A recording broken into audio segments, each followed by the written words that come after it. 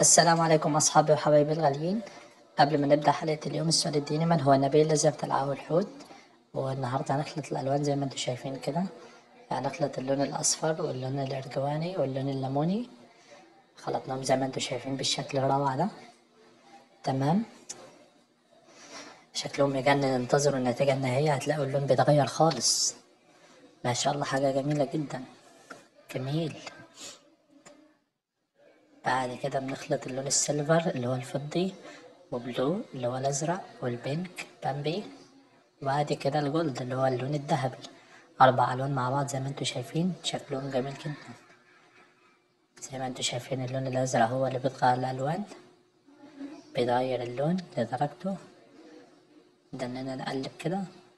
ما شاء الله. روعة. تمام؟ بعد كده بنخلط اللون البرتقالي والأخضر والأزرق وأورنج وجرين وبلو. زي ما أنتوا شايفين بالشكل الجميل ده.